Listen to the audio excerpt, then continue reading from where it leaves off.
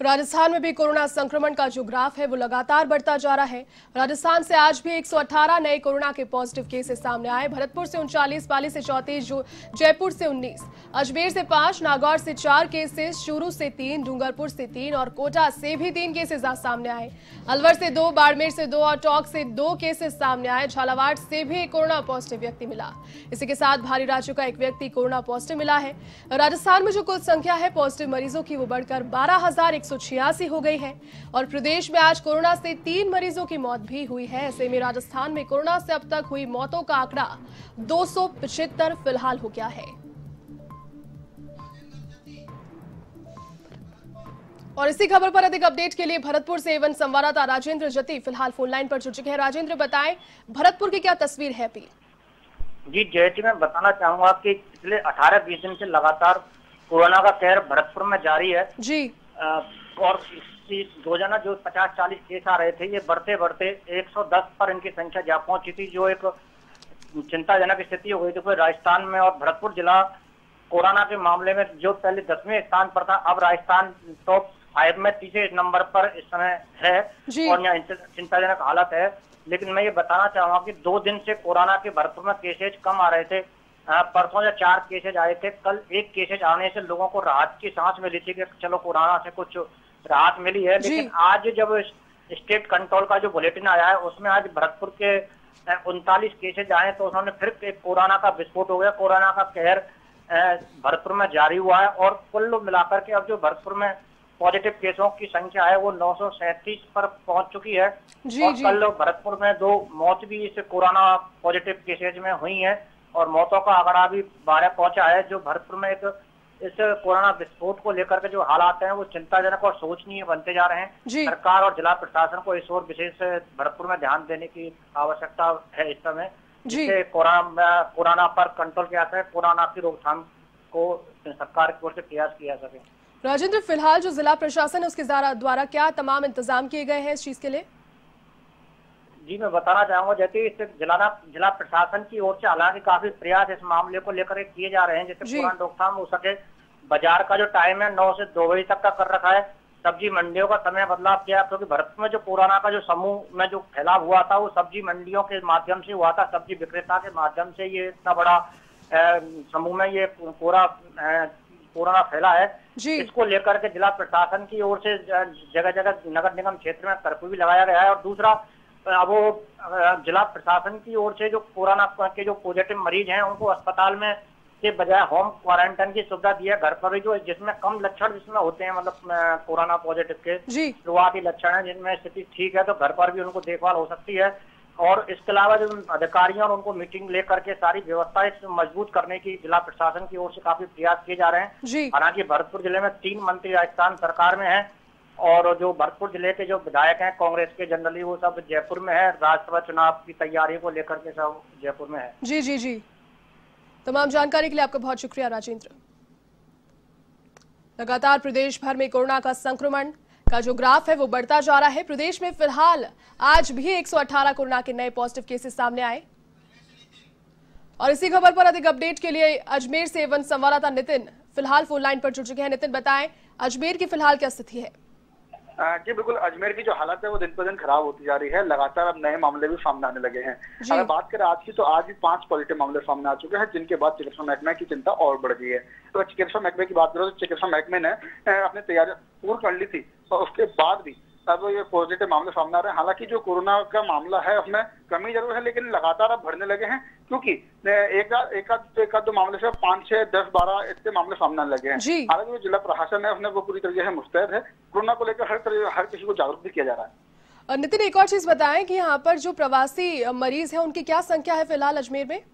जी प्रवासी संख्या सौ के अधिक हो चुके हैं और जो अजमेर की अगर बात करें तो अजमेर में अहमदाबाद और गुजरात साइड से आने वाले प्रवासी ज़्यादा हैं। हालाँकि महाराष्ट्र जिससे भी आने वाले प्रवासी ज़्यादा हैं लेकिन गुजरात से प्रवासी ज़्यादा अजमेर आता है जिस कारण से पॉजिटिव के बढ़ने की संख्या और बढ़ रही है। जी जी तो उनके क्वारंटीन रहने की और उनको होम आइसोलेट करने की फ़िलहाल क्या इंतज़ाम है वहाँ पर?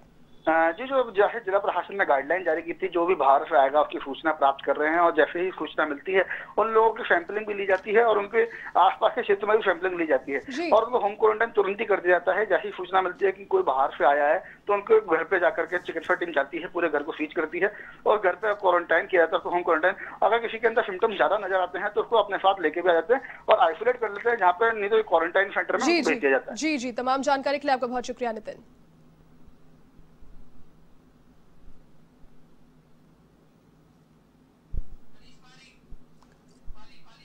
और पाली से एवं संवाददाता मनीष पारिक फ़िलहाल अधिक जानकारी के साथ फ़ोन लाइन पर जुड़ चुके हैं। जी मनीष बताएँ पाली में फ़िलहाल क्या स्थिति है?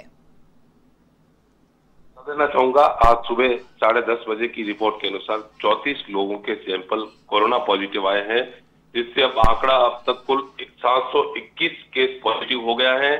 वर्तमान में एक सौ पचपन केस एक्टिव है। जी। और कल शुक्रवार को चौबीस लोगों को अस्पताल से रिकवरी होने के बाद छुट्टी भी दे दी गई है जैती मनीष एक और चीज़ बताएँ फ़िलहाल जो प्रवासी वहाँ पहुँच रहे हैं और उनमें से जितने लोग अभी पॉजिटिव निकले हैं उनके क्या फ़िलहाल इंतज़ाम किए गए हैं उनकी स्वास्थ्य जांचों के लिए?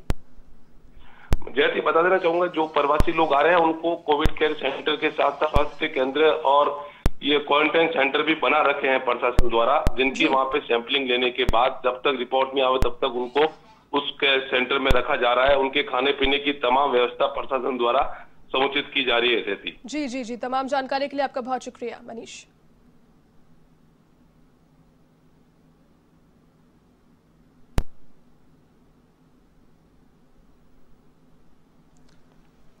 प्रदेश भर से कोरोना के ग्राफ में लगातार बढ़ोतरी देखने को मिल रही है। आज भी प्रदेश भर से 118 कोरोना के नए पॉजिटिव केसेस सामने आए।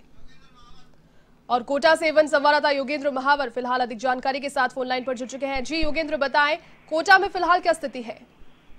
जैसे मैं आपको बता दूँगा लगातार कोटा में कोरोना संक्रमित मरीज़ हैं, उनकी संख्या में लगातार इजाफा हो रहा है। आज दो कोरोना संक्रमित मरीज़ ज़रूर सामने आए लेकिन सबसे चौंकाने वाली बात भी इन दोनों कोरोना पॉजिटिव संक्रमित मरीजों में सामने आई है। पहली बात मैं जैसी आपको बता दूँ कि जो पहला कोरोना पॉजिटिव संक्रमित सामने आया वो एक कोटा की एक बड़ी निजी कोचिंग संस्थान है। उसके उनके जो मालिक हैं उनके पिता हैं वो कोरोना संक्रमित सामने आया है। और दूसरी सबसे बड़ी खबर ये है कि आरएसी का जवान भी कोरोना पॉजिटिव निकला है जो अनंतपुरा का निवासी है। तो निश्चित तौर पर जिस तरह से आज कोरोना संक्रमित मरीज़ सामने आया, उन्होंने जिला प्रशासन की चिंता ज़रूर बढ़ा दी है।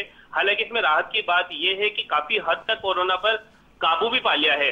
लेकिन जिस तरह से आज आरएसी का जवान और एक निजी कोचिंग संस्थान के मालिक हैं उनके पिता जो कोरोना पॉजिटिव आए हैं तो ये कहा कहना भी गलत नहीं होगा कि कोरोना संक्रमण का जो जाल फैला है कोटा में जी, वो कहाँ कहाँ तक पहुँच चुका है। जी योगेंद्र एक और चीज़ बताएँ जिस प्रकार से कोरोना के नए नए केसेस सामने आ रहे हैं अनलॉक वन अभी फ़ेज़ जो है वो अभी तत्काल तौर पर जारी है तो उसमें क्या इंतज़ाम अभी किए जा चुके हैं और प्रशासन और जनता आपस में किस प्रकार से सामंजस्य के साथ कार्य कर रही है? बिल्कुल निश्चित तौर पर जो अनलॉक वन अभी जारी है उसके अंदर काफ़ी दुकानें भी खुल चुकी है काफ़ी प्रतिष्ठान भी खुल चुके हैं। लोगों को राहत इस इस बात की ज़रूर मिली है कि उनकी जो आर्थिक स्थिति बिगड़ रही थी वो कहीं ना कहीं धीरे धीरे पटरी पर लौटने लगी है। लेकिन साथ में इसके कोरोना का जो संक्रमण है वो भी लगातार बढ़ रहा है। और अपने दर्शकों को बता दूँ कि एवन टीवी ने हमेशा एक सेतु का काम किया है जिला प्रशासन और जो कोटा शहर के लोग हैं उन लोगों के बीच में। जिला प्रशासन के लिए जो विश्वास जो कोटा शहर के लोगों का बना है वो काबिल तारीफ़ है और स्वयं अब सेफ्टी कर रहे हैं खुद प्रोटेक्शन कर रहे हैं।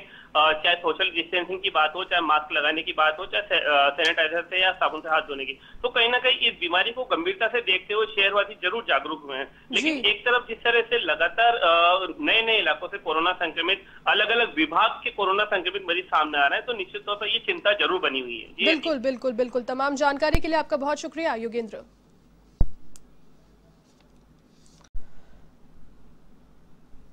बारह हज़ार के पार हो गई है राजस्थान में कोरोना पॉजिटिव मरीजों की संख्या। दो लोगों की मौत भी हुई है। लगातार जो दायरा है कोरोना का, वो बढ़ता जा रहा है। राजस्थान के 33 जिलों में कोरोना का संक्रमण अपने पैर पसार चुका है, लेकिन इन सभी के बीच में राहत की खबर ये है कि रिकवरी जो दर है मरीजों के ठीक होने की, उसने भी अपनी गति को पकड़ लिया है। संख्या में अधिकांश मरीज़ ठीक हो चुके हैं और अपने घरों के लिए डिस्चार्ज भी इनमें से कई मरीज़ हो चुके हैं। लेकिन फ़िलहाल इस चीज़ को डिनाई नहीं किया जा सकता कि जो कोरोना का संक्रमण है, वो बढ़ रहा है। लेकिन प्रशासन ने यहाँ पर पुरजोर तमाम व्यवस्थाएँ की हुई है। चिकित्सा महकमे की अगर बात करें तो यहाँ पर क्वारंटीन करने के लिए और बेड्स की पहले से ही, शुरुआती दिनों में ही इन्होंने प्रयास करना शुरू कर दिया था। और लगातार जो स्वास्थ्य सेवाएँ हैं उन्हें बढ़ाया जा रहा है। और इसी खबर पर अधिक अपडेट के लिए वन संवाददाता लोकेश ओला फ़िलहाल अधिक जानकारी के साथ फ़ोन लाइन पर जुड़ चुके हैं। लोकेश बताएँ फ़िलहाल राजस्थान में जिस प्रकार से कोरोना का संक्रमण गहराता जा रहा है आगे क्या उपाय हो सकते हैं और फ़िलहाल क्या स्थिति है राजस्थान में? जी बिल्कुल प्रदेश में लगातार अब कोरोना का जो ग्राफ है वो बढ़ता नज़र आ रहा है। जिस तरह से बात करें तो भरतपुर और पाली में पिछले दो दिनों से लगातार कोरोना पॉजिटिव सामने आ रहे हैं। और बात करें तो आज की तो आज प्रदेश भर में एक सौ अठारह कोरोना पॉजिटिव सामने आ चुके हैं। ऐसे में कोरोना पॉजिटिव की संख्या बढ़कर बारह हज़ार एक सौ इक्यासी हो चुकी है। हालाँकि मौतों का आंकड़ा भी लगातार बढ़ता नज़र आ रहा है और प्रदेश में आज तीन कोरोना पॉजिटिव की मौत हो चुकी है। हालाँकि जिस तरह से कोरोना जो मौतों का ग्राफ बढ़ता जा रहा है उसमें जयपुर में सबसे अधिक मौतें हुई है जयपुर में अब तक एक सौ पच्चीस लोगों की कोरोना से जान जा चुकी है।